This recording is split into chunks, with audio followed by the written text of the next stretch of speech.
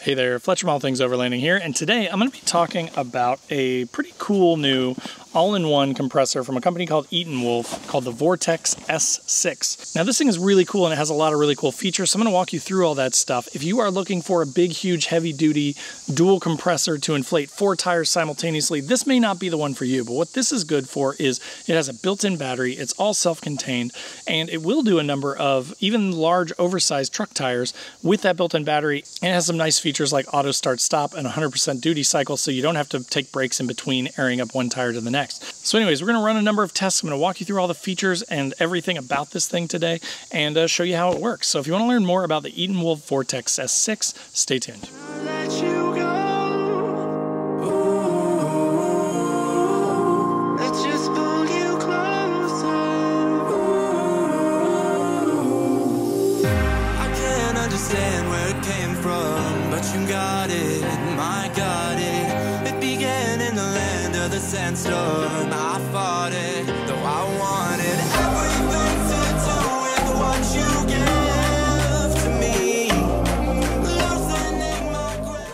All right, so as I mentioned in the intro, today I'm talking about this Etenwolf Vortex S6. Um, this thing is a cool little compressor. I'm going to take it out of the bag. I'm going to literally show you everything uh, that this thing does, that it has on it, that comes with it. And then we're going to use it on one of my 33-inch tires on my Nissan Frontier back here to air it up from 20 pounds of pressure, which is about what I typically air down to, up to 35, which is where I usually will air up to when I'm going home. So again, we're going to run some tests on it.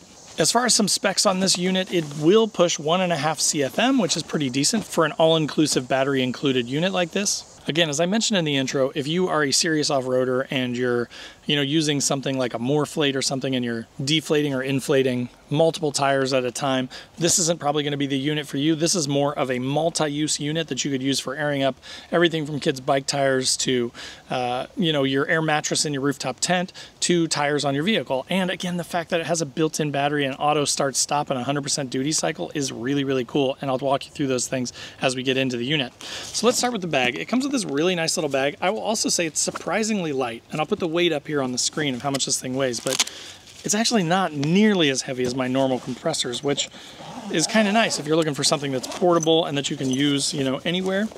But so when you get the unit and you pop it out, it is a sharp looking little unit. So it does have a sort of a hose here that goes wraps around it and is kind of built into it. And then it's also got some additional air pump types on the back here, which I will say that's one of the things that I don't like about my big dual compressor that I plan to build into my truck at some point is I can literally only do tires, right? Like I, that's all that I can do. So when my kids are like, hey, my bike has a low tire, I'm like, sorry, buddy, you know, I guess we got to dig out the air compressor in the garage to air that up because it's just two different things, right? But with this, you can do tires on a vehicle all the way down to like, you know, athletic balls, basketballs, footballs, and, uh, you know, bike tires and things like that. So I like that it's all built in, that it's right on the unit, that not only is it battery powered, but you got everything that you need right there. So then also included in the bag is one of these chucks for your tires. So we will need that since we're going to air up a tire. Then it does come with a wall plug, which is 45 watts. So it should charge this unit really fast, but it's just an AC wall plug with a USB-C coming out of it. And then it comes with a good length uh, cord here that goes USB-C to USB-C. So super efficient when it comes to charging, right? USB-C to USB-C at 45 watts. Again, should charge this thing really, really fast. Another nice thing is they include this quick guide uh, kind of like a quick start guide in the bag as well. So you can just really quickly see exactly how to work it, how to run the compressor, how to change the desired air pressure that you want to be at, and all that stuff. It's just right here on the quick guide, which makes it really, really easy. So now here on the front, let's actually get into using it, right? So to turn it on, you just hold the start pause and you'll see it kind of spin up here. It's got a really sharp display on it too.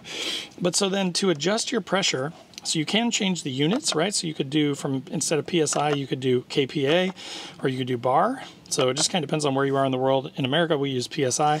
But then you can use this little slider thing to adjust your target pressure, right? So like I mentioned, I'm gonna go to 35 because that's what I want my tires to be at. But let's say that you were airing up an air mattress and it says in the instructions to air it up to no more than 15 pounds or 20 pounds or something, then you could set it to whatever you want really easily using this knob, right? So I'm gonna set it to 35. There is a light built into it, so you can push that, and then there's a light right there. So if you needed a flashlight, let's say you broke down on the side of the road and you needed a light, you've got this light here on the side. You've got a couple modes. You've got on Then you've got a higher mode, which gets really bright. Like this thing is really bright. So again, if you broke down on the side of the road and you're airing it up and you needed some light, you've got it right there, which is super handy. If you wanted to warn people if you're on the side of the road, you could do like a fast flashing or you could do a slow flashing or and then there's off, right? So again, having a built-in light, having all this stuff be run off this one self-contained battery to me is really cool and good peace of mind. Again, probably going to keep it in my wife's car as a backup compressor that we can use more for like kids stuff and uh, for her vehicle. If she got a flat tire and we needed to air it up or something like that, then it's just a nice thing to have. And it's so user friendly with the built in battery that you can use it for anything. So you can select like car, bigger truck, even bigger vehicle like an RV. You could do like basketball and see it's setting the presets for you. And then you've got just give me wind and then you've got like bicycle tires. But so it's presetting. It's got a bunch of like preset uh, modes in here that will tell you what PSI and it will automatically set it to the correct PSI for you for whatever type of thing uh, you want to air up, which is really cool. So then the other thing, you've already seen this for the uh, this air hose for like pool floats and uh, like air mattresses for camping. But then the other thing is on the front here is your tire hose, right? Your high pressure hose. And it just kind of sticks between this channel here. But so it's, again, it's always on here. You don't have to worry about forgetting things or having different fittings or anything like that. All you're gonna do is you're gonna take your, uh, you know, provided air chuck and we're gonna screw that onto the end here and then we're ready to do tires now you know? And again i love that this is all just built right into here. It's all just stored right on here. I probably will honestly just leave the chuck on it just like that so i don't have to mess with it or worry about getting it out and putting it on and off because the only thing i'll ever use this high pressure hose for is vehicles right but so again, let's go over and let's lower the pressure in my tires now, and we're gonna test this thing out. We're actually gonna take it from 20 up to 35. We're gonna see how long it takes, and we're gonna watch it and see how much noise it makes and all that stuff too, so you guys will actually get to see this thing in use. So let's go over to the side of the truck. Now, a couple things that I kind of have touched on but haven't gone super deep on, but I did want to mention is that again, this has a 100% duty cycle. So the thing is, it's meant to run continuously. So you could literally inflate all four tires on an F-150, standard sizes like 245 70 R17 or 31 inch tires from 0 to 35 PSI without ever shutting this thing off, and it will just run continuously. So it cools itself sufficiently enough that you don't have to worry about turning it off. So that is always a concern with air compressors and really nice that this one has a 100% duty cycle. As I mentioned, when when you set it to the PSI, it auto stops. So you don't have to keep an eye on it. You don't have to watch it. You just set it and forget it, and it's going to turn itself off when it hits that desired target pressure. Now the battery that's built into this thing is a 19,200 milliamp hour lithium battery. So basically what that means is you can inflate about 18 F-150 standard size 31 inch tires from 30 to 35 PSI on a full charge. So we're gonna test this now going from 20 to 35. So let me get this down to 20 and then we will air it back up and we'll see how long it takes and how it does. So here's another thing that I like. Let's click on our modes here and let's get us to truck, right? So we're at 35 is our desired pressure. It will also show you below the desired pressure what you're at currently. So as I start to drain this, right, it's telling us, so I was at 35, right? So now I'm just draining it through the plug.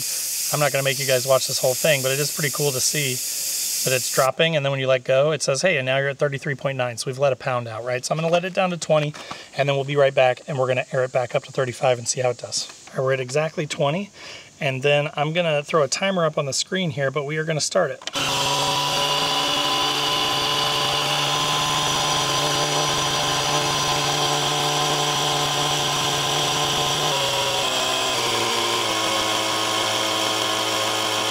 So as you saw there, it kind of kicks itself down a gear as it gets closer and closer to the desired pressure, which is pretty cool. I think so it doesn't overshoot, which is smart. But again, what, a few minutes, three and a half minutes maybe? I'll put the time up here on screen. I'm not looking at a stopwatch, but I've measured the time on the video. Um, but I mean, like, it's, again, it's not going to replace your, you know, big heavy duty dual compressor, you know, for airing up four tires necessarily, but to have something that's this easy to use that my wife, who is not at all a car person and would probably freak out if she thought she had to air up a set of tires, to be able to just hook it up to the tire, like I literally could show her how to hook this up to the tire and how to set it to the car setting and then turn it on and it just does everything for you is really, really nice. So again, it's sort of like a backup, something that you would carry on you that I didn't never had to pop my hood. I didn't have to hook up to power or anything. That's really, really nice. So not too bad. I'm impressed. All right, guys. So there you have it. That was the Etenwolf Vortex S6. This thing is really cool, right? Like again, as I've mentioned a couple times, like if you are a real overlander, a real off-roader and stuff, like I'm not getting rid of my big dual compressor and my four tire setup or anything like that because in our instances, a lot of the times we are gonna air down our tires quite a bit, right? To 25, 20 pounds, sometimes less if it's snowy, wet, muddy, that kind of thing. And you're gonna need a bunch of grunt to air up all four of those tires. And generally you wanna do that as quick as possible, right? Like I wanna hook up all four tires via my four tire system and I wanna air them up as quick as I possibly can, maybe four or five minutes to get all four aired up from 20 to 35. This won't do that. So I'm just being upfront with you guys, right? But man, this thing has so many other cool uses. Like, again, if you've got an air mattress, let's say, or a pretty good size air mattress, this thing's gonna do way better than those little tiny like uh, pumps that you put on. And I sit there, I feel like I put those things on and I wait and I wait and I wait and I check it and it's still half inflated. And then I turn it back on and the thing's 100 degrees and it's just working its butt off and it just cannot pump those things up very quick. This could replace those. This could also be, again, behind your back seat, under your back seat. In my truck, my seat comes up and there's like an empty compartment. I might keep this under my seat or in the back of my wife's car. If she gets a flat tire and you pull your spare out and your spare doesn't have enough air, this thing has all the battery built in. You don't have to pop your hood, hook up alligator clips, do all that stuff. It's just an all-in-one unit that you could use really easily to air up a tire or a couple of tires while also inflating your mattress or infl- blowing up stuff for your kids if you're at a lake let's say. I went to land between the lakes a couple weeks ago and if i'd brought some inflatable floaties and my kids with me i could have inflated those up where i can't do that with my dual compressor right? The thing would blow them up. It would just explode and they don't even have the right fittings to do that anyways. This thing is so flexible and it has the built-in battery. You can use it as a power bank. I like things with multiple functions and i really like that this thing is useful like that right? So again i hope that this was interesting for you. May not be everybody's cup of tea, but I'm pretty excited about it for the ways that I can use this thing uh, with the kids, with the family, um, and in a variety of, of sort of use cases. So just wanted to share it with you. Uh, there will be a link in the description down below, so if you want to check one out, definitely click through that. Also in the description down below will be links to all my other social channels, so wherever you want to come hang out, I'd love to have you.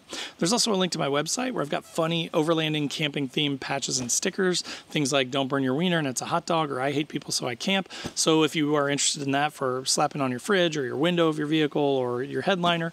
There's a ton of cool options in there and you should check those out.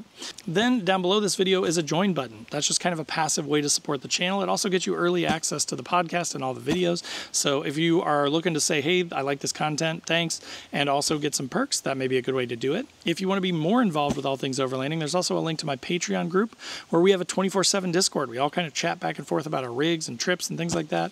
Um, so that's a really fun place to be. We also do a once a month Zoom call and we're doing one or two trips every year too to try and meet up in person. So check that out if you're interested in that. And then last but not least, there is the Newbie Overlanders Facebook group. This group's totally free to join, got a ton of awesome members in it. So again, if you are looking for a way to connect with other overlanders, learn about overlanding, or if you're just tired of the bullying in the big groups, that may be a good place for you. And we'd love to have you. So again, thanks so much for watching. Hope that was helpful, and we'll see you next time.